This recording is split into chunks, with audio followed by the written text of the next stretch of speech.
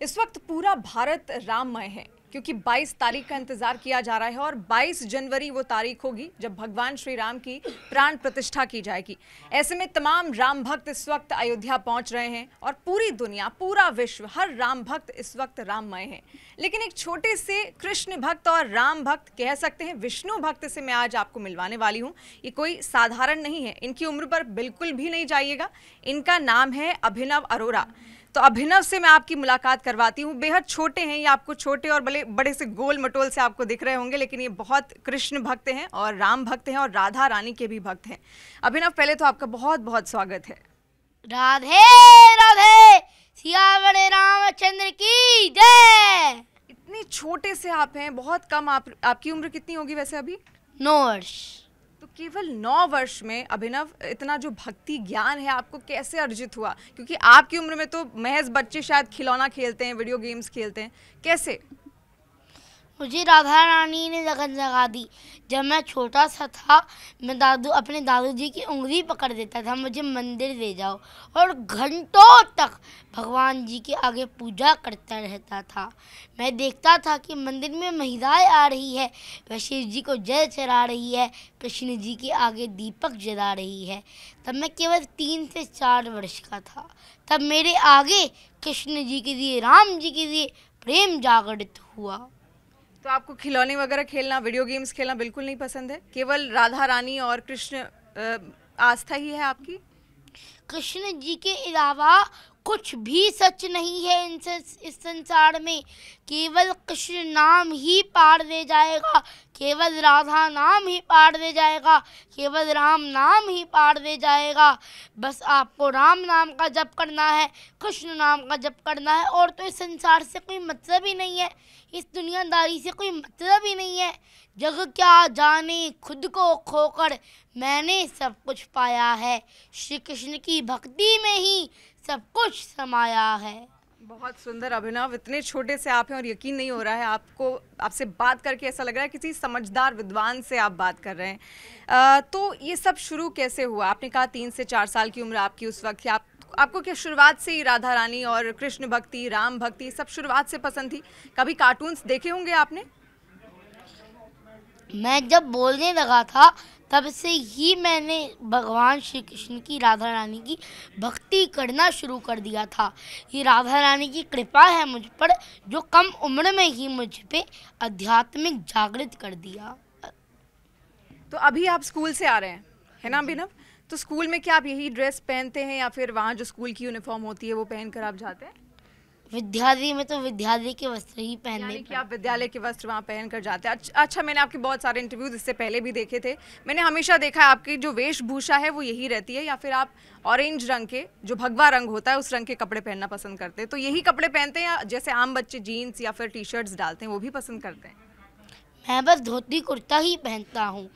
मैं मेरा मानना है कि जब मैं वृंदावन जाता हूँ मथुरा जाता हूँ तब मैं देखता हूँ। बहुत सारे विदेशी साड़ी पहनकर आ सकते हैं, धोती पहनकर आ सकते हैं। तो हम हिंदू हैं, हम सनातनी हैं, हम भारतीय हैं। हमारा धोती पहनने का अधिकार है, हमारा कुर्ता पहनने का अधिकार है। बिल्कुल, कुर्ता पहनने का अधिकार है और जो चाहे मन, चाहे उम्र कितनी भी हो, आपका जो मन करे वो आप बिल्कुल धारण कर सकते हैं और आप तो हैं ही कृष्ण भक्त, राधा रानी के भक्त। लेकिन रहते आप दिल्ली में हैं, अभिनव तो दिल्ली में रहकर इतना भक्ति भाव आप वृंदावन जाते हैं? हम हर महीने वृंदावन जाते हैं। वृंदावन में जाकर तो ऐसा लगता है कि बस राधा रानी ने मुझे अपने पास बुला दिया। माँ के बिहारी राधा वल्लभ राधा रमन जी के दर्शन तो इतने प्यारे होते हैं कि मन मोह लेते हैं जी। वृंदावन धाम के कड़ में राधा नाम बसा है और आज भी वहाँ पर प्रिया प्रीतम वास करते हैं। श्री राधा कृष्ण जी वहाँ के बिहारी जी वास करते हैं। अरे वृंदावन धाम की महिमा तो ऐसी है, वहाँ पर ऋषि ऋषि भी वहाँ की महिमा नहीं जान पाते। हम साधारण मानव है। मेरा वृंदावन में आना जाना रहता रह, रहता है। यानी कि आप वहाँ बार बार जाया करते हैं। आपके बहुत सारे इंटरव्यूज़ और गौशाला भी आप वहाँ पर गए हैं वो मैंने देखे हैं। एक इंटरव्यू में आपने इस बात का ज़िक्र किया है कि आप ठाकुर जी से बात करते हैं। जब आप राधे राधे बोलते हैं तो वो आपको जवाब देते हैं। क्या बात करते हैं? कैसे वो आपसे क्या चीज़ें पूछते हैं? आप उनसे क्या पूछते हैं? वो मेरे हर प्रश्नों का उत्तर देते हैं। वो मेरे भाई हैं। मैं उन्हीं को पहले खिलाता हूँ भोजन खिलाता हूँ उसके बाद मैं प्रसाद ग्रहण करता हूँ। आपसे- उन्हीं के साथ ही सोता हूँ उन्हीं के साथ ही खेलता हूँ उन्हीं को जगाता हूँ। यानी आपसे बातचीत करते हैं? ठाकुर जी आपसे बातचीत करते हैं? जी वो मेरे भाई हैं वो मेरे से बात करते हैं। वो मेरे बंधु सखा बहन पिता माता सब कुछ है वो मेरे। उनका नाम गोविंद है। आपके ठाकुर जी का नाम गोविंद है ठीक है। आप कभी अयोध्या गए हैं? 22 जनवरी को प्राण प्रतिष्ठा होने वाली है तो ऐसे में अयोध्या जाने की कुछ प्लानिंग है? इससे पहले गए हैं कभी अयोध्या? हम दीपावली पर अयोध्या गए थे। इस बार, हर बार राम जी मेरे घर आते हैं दीपावली पर। इस बार दीपावली पर उन्होंने मुझे अपने घर बुलाया था। अयोध्या में जाकर तो ऐसा लगा कि बस मैं राम जी की नगरी आ गया। राम जी मेरे पास हैं और मैं उनके पास हूँ। अयोध्या का नज़ारा इतना सुंदर था इतना सुंदर था उसकी कोई सीमा ही नहीं थी। अभिनव आप और अब हम 22 जनवरी को प्रधानमंत्री श्री नरेंद्र मोदी जी श्री राम जी की प्राण प्रतिष्ठा करने जा रहे हैं। तब भी हम अयोध्या जाएँगे। तो आप देखिए, वृंदावन भी ये गए हुए हैं, क्योंकि कृष्ण भक्त हैं, राधा भक्त हैं, और आप अयोध्या भी गए हुए हैं। सुंदर कौन है ज़्यादा? वृंदावन सुंदर है या फिर अयोध्या सुंदर है? सुंदर की बात करो तो दोनों ही सुंदर हैं। कृष्ण जी हमें सिखा कृष्ण जी हमें सिखाते हैं कि कैसे प्रेम करना है और राम जी हमें मर्यादा में रहना सिखाते हैं। कृष्ण जी छह छबीले हैं और राम जी मर्यादा पुरुषोत्तम हैं। ये तो है हर ईश से दोनों नगरी में ही जाकर ऐसा एहसास हो जाता है कि बस अब मैं प्रभु के धाम आ गया हूँ। यानी आपको अयोध्या जाना भी बहुत ज़्यादा पसंद है। वृंदावन के तो आप पुजारी हैं ही वहाँ पर आप जाते रहते हैं। तो 22 तारीख को यानी कि आप जाएँगे वहाँ प्राण प्रतिष्ठा का जो कार्यक्रम होगा उसको लेकर और आप राम भक्त हम आपको कहें या फिर कृष्ण भक्त आपको कहें या राधा भक्त आपको कहें कौन सा भक्त? भक्ति में क्या इस तरीके का भेद होना चाहिए? बिल्कुल भी नहीं होना चाहिए। एक है राम जी एक है कृष्ण जी एक ही अवतार है कृष्ण जी और राम जी। और राम जी और कृष्ण जी एक है और राधा और कृष्ण भी एक हैं। भक्ति में कोई भेद नहीं है, सनातन में कोई भेद नहीं है। सनातन में कोई भेद नहीं है। ये ऐसा लग रहा है कि बहुत छोटी सी उम्र इनकी ज़रूर है, लेकिन जो इनका मस्तिष्क है, बिल्कुल समझदार और किसी बूढ़े विद्वान की तरह ये बात करते हैं अभिनव। आपसे बात करके तो बहुत अच्छा लग रहा है। क्या सीखा फिर आपने अब तक? आप नौ साल के हैं भक्ति करते आए हैं भगवान श्री कृष्ण की। क्या सीखा उनके जीवन से अभी तक आपने? हमें रामायण से सीख मिलती है। मैं आपको रामायण की सीख बताता हूँ। रा आजकल माता पिता का सम्मान नहीं हो रहा। पहले के समय होता था। राम जी ने दशरथ जी से पूछा नहीं कि क्यों जाना है वनवास? बस आज्ञा लेकर चुपचाप चले गए वनवास। रामायण से सीखो कि माता पिता का कितना सम्मान करना है। आजकल बच्चे बड़े हो जाते हैं, बच्चे अपने माता पिता को वृद्धाश्रम में छोड़ देते हैं ओल्ड एज होम्स में छोड़ छोड़ देते हैं। लेकिन क्या है यह हमारी युवा पीढ़ी? और अगर यह हमारी युवा पीढ़ी तो ये आगे जाकर के कुछ भी नहीं कर सकती। इसको भी राम जी के जीवन में राम कथा से सीखना चाहिए। राम कथा को सुनना ही नहीं, रामायण को सुनना ही नहीं, उसको अपने जीवन में उतारना भी है। और श्री कृष्ण से आपने क्या कुछ सीखा? ये तो भगवान श्री राम की सीख आपने बताई। श्री कृष्ण के जीवन से क्या सीखा है अभिनव आपने? कृष्ण जी ऐसी रिदाई करते हैं ना जी सब काम मोह देते हैं। वो हमें प्रेम करना सिखाते हैं। मैं आपको कृष्ण जी की एक रीजा सुनाता हूँ। एक बारी कृष्ण जी और राधा रानी श्री वृंदावन धाम निधिवन में रास रच रहे थे। जय श्री राधे, जय श्री कृष्णा। जब रास रचने के बाद वहाँ से जाने लगे, तब हमारी ठाकुरानी राधा रानी के चरण कमलों में रज लग जाती है। ठाकुर जी ने राधा रानी से कहा, श्री राधे, राधा रानी, आपके चरण कमलों में ना रज लग गई है। इसे जाके यमुना जी में धो लो। राधा रानी के दिए नहीं। ठाकुर जी ने फिर से कहा, राधा रानी, इसको धो तो दो आपके चरणों में, आपके चरण कमलों में रज लग गई है। राधा रानी के दिए नहीं। ठाकुर जी बोले, अरे, क्या हुआ? क्यों नहीं धो रहे राधा रानी ने कहा, जिसको मैं एक बार अपने चरणों में लगा देती हूँ, उसका साथ कभी भी नहीं छोड़ती। तो ऐसे ही है हमारे राधा रानी, ऐसे ही हैं हमारे कृष्ण जी, जो किसी को एक बार अपने चरणों में लगा देती हैं, ना किसी को एक बार अपना बना देती हैं, उसका साथ कभी भी नहीं छोड़ती। और यही कारण है कि अभिनव के भी अब वो अपने हो चुके हैं और अभिनव भी उनको बिल्कुल नहीं छोड़ना चाहते। आपकी जो दिनचर्या है अभिनव वो क्या है? क्योंकि मैंने देखा है आपका एक वीडियो। आप तुलसी जी की परिक्रमा कर रहे थे। सुबह सुबह आप तुलसा पाठ करते हैं? मैं सुबह साढ़े तीन बजे ब्रह्म मुहूर्त में जग जाता हूँ। मैं स्नान करता हूँ। चार बजे मैं माला जाप करना शुरू कर देता हूँ। चार से छः साढ़े छः बजे तक मैं डेढ़ दो घंटे दो घंटे तो मुझे लग जाते हैं। मैं माला जाप करता हूँ नाम जप करता हूँ। उसके बाद जब सूर्य उदय हो जाता है तब मैं तुलसी जी को जल चढ़ाता हूँ उनकी परिक्रमा करता हूँ उनकी सेवा करता हूँ।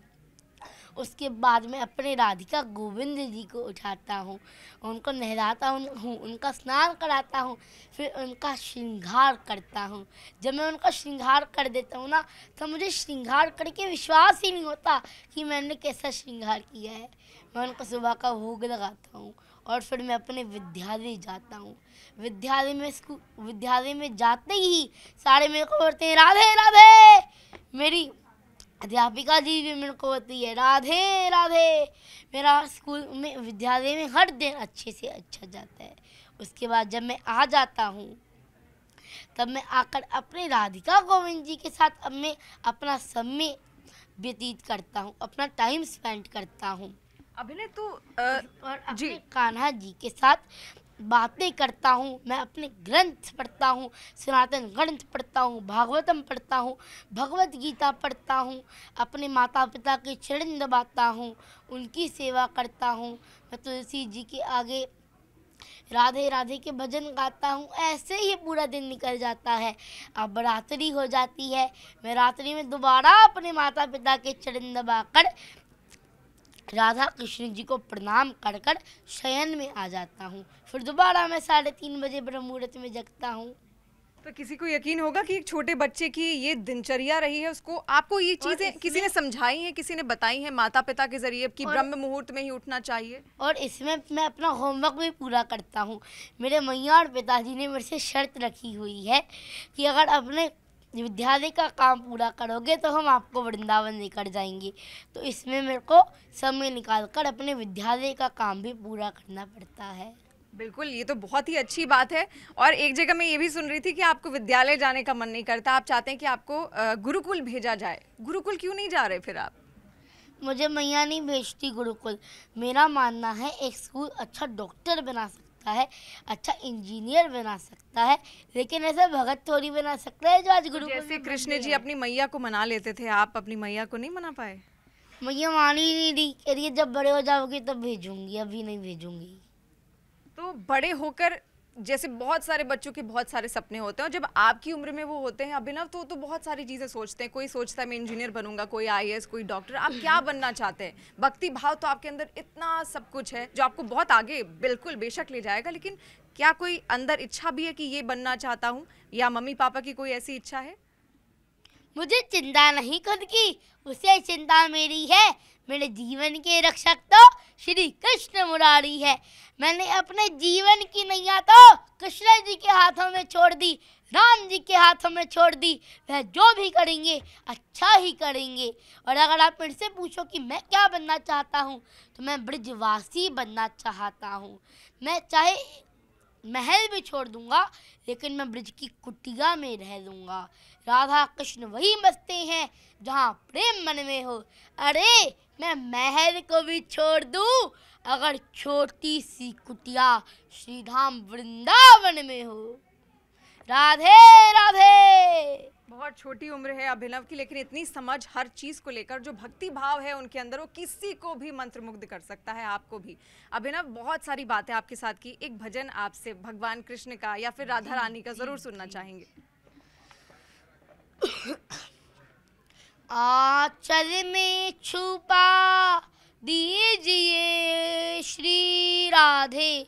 करुणामयी कृपा कीजिए। पहले भी व्यर्थ हुआ कई बार मेरा जीवन, मैं तोड़ नहीं पाया मोह माया के बंधन। अब की बारी बचा, दीजिए श्री राधे। करुणामयी कृपा कीजिए, राधा रानी कहती है। तुझ में ऐसे क्या गुण है जो मैं तुझ पर कृपा करूँ? भक्त कहता है, मुझमें ऐसे कोई गुण नहीं। मैं तो अवगुणों का भंडार हूँ, लेकिन इस जन्म में मैं आपकी शरण में हूँ। आप मुझ पर कृपा कीजिए। फिर राधा रानी कहती है, मेरा घर तो ब्रज मंडल है, मेरा घर तो बरसाना है, वृंदावन है। मैं कभी बरसाना से ब्रजमंडल से बाहर ही नहीं निकलती। अब तुम ही बताओ, मैं कैसे आऊँ तुम्हारे पास? फिर भक्त ने बहुत ही सुंदर उत्तर दिया। पलकों के सिंहासन पर मैंने तुमको बिठाया है। इस मन के अंदर ही एक बरसाना बनाया है। इसमें आते रहा कीजिए। श्री राधे करुणामय कृपा कीजिए। हरिदासी बगरी है, जगती है रातों में। तुम दिल पर मत देना बगरी की बातों को। सच्ची भक्ति का वर दीजिए, राधा रानी कृपा कीजिए, महारानी कृपा कीजिए।